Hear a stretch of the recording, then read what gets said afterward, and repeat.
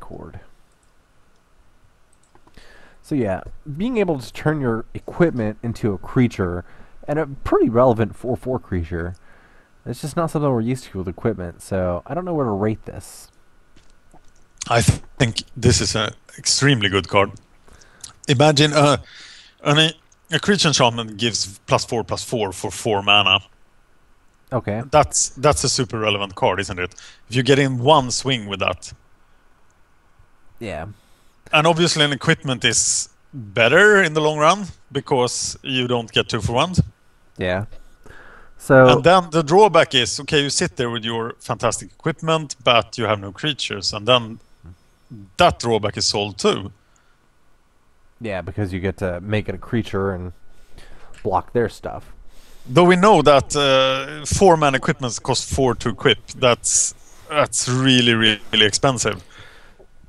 Yeah, it's super expensive, and that's where that's the problem I see with it is that uh, you know, you have this plate mail out, and you want to activate it as a spirit and block their stuff, but the second you play the you play a creature, you can't do that anymore. You have to equip the creature almost immediately. So you need very very cheap creatures to go along with this haunted plate mail to make it really good.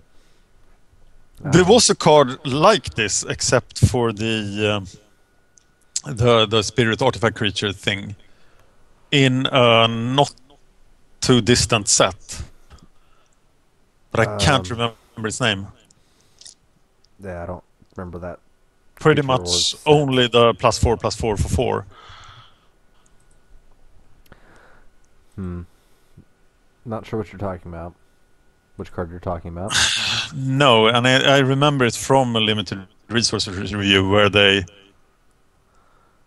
said that the, the cost was so high, but w- if you activated this, of course, you you probably won and got it to stick. Yeah. So how high do you pick this? Um, I mean, it's still a pretty good equipment as far as equipments go. So I'm probably second to fourth picking it. I don't think I'm first picking it, but second I to fourth can go pretty good. second to fourth pick too. Uh, what about Witch Stalker? Uh, now we are into the, the weird family thing here. Right? Yeah. No, no, it's not one of them. It's a festering newt and bubbling cauldron and bog brew. That's the the union. Yeah. Uh, now the Witch Stalker is another one of the the color hate cards. Uh, Right? hexproof. Ha! this Hey, was the the second hexproof creature I thought about.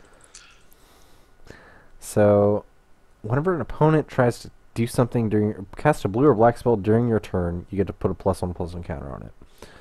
Uh, I'm not looking at this. I'm looking at this guy as a Centaur Courser, a hexproof Centaur Courser. Yeah, and uh, if this format is anything like uh, M13, I am first picking this guy. He is a primal hunt beast uh, that is one mana cheaper, and then you have this crazy upside, so you don't even have to enchant him. No, it's during No. your turn. God, I have to read the card.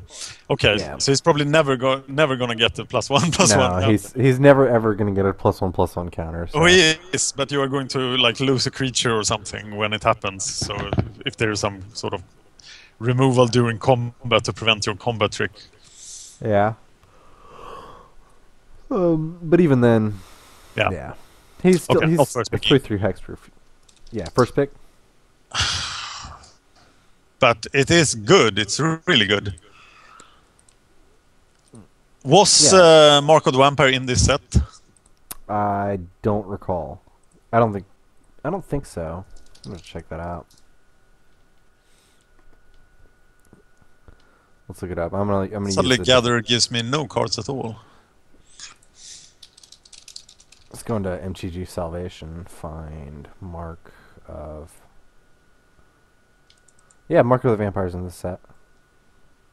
Well, this is the guy you want to cast Mark of the Vampire on. But it's harder than Primal Hunt Beast, of course, because it's too green. But Ah. this guy with... This guy with... oh, But you can hit him with Mark of the Vampire on turn 4. Yeah, which is just you game over. You get a Mark of the Vampire on this guy on turn four, game over. Well, I, I am first picking him, and I am looking for, for marks. Uh, Yeah. The the Primal Hunt is Mark of the Vampire deck was really good. Yeah, so I'm gonna And go this with you there. First pick so is fine. early. And there's this weird upside. Yeah, so we get uh, the family of cards you were saying there. I haven't actually read these these cards yet. Festering. They look very, very cute. Too cute. uh, Festering Newt is, um, of course, the old. It's Festering Goblin, right? Uh, sort of, yeah. Yeah. So it's it's not Fume Spitter, but it's uh, still something that is relevant. Yeah. So what's cool about this is that you can actually you can play this guy as a one one, and he can actually trade with X twos. Yes. So, I mean, if you get the Bog Brew Witch, which I'm not really, no, I'm not playing Bog Brew Witch, so. Like, Uh, I, she's, Whoa, she's- Bog Brew Witch wasn't very good. No, she's uh bad. Cause like the the cauldron isn't very good, and the newt isn't amazing by itself. It just trades with X twos, or maybe even X fours. Yeah. Yeah, it's just not that great. So how good is the Newt? I I think the newt is okay on its own in a, in a defensive deck. It's worse than a bear, right? Yeah, it's probably it's probably worse than a bear. But it is playable. It I think it's a twenty third card, so seventh to ninth. Yeah.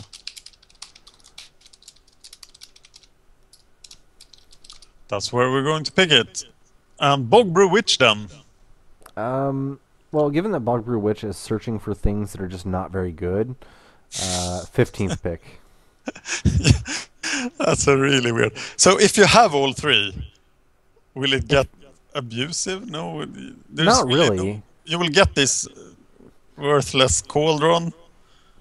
Yeah, you get this Cauldron, which uh, can provide you with a Drain Life for four. And you pretty your- much just only on your opponent. making an awesome removal spell that consists of three cards. Yeah. It's just, it's not very good. I think the Oh. only playable card of the three is the Festering Newt, and even then it's not very gr- not great. So Bog Brew Witch, 15th. really sad rare to get. yeah. And then Bubbling Cauldron is also really sad uncommon to get. You get four life for the creature. What? How many lives did you get for the creature with Trading Post? I think Trading Post is also four life. Oh, okay.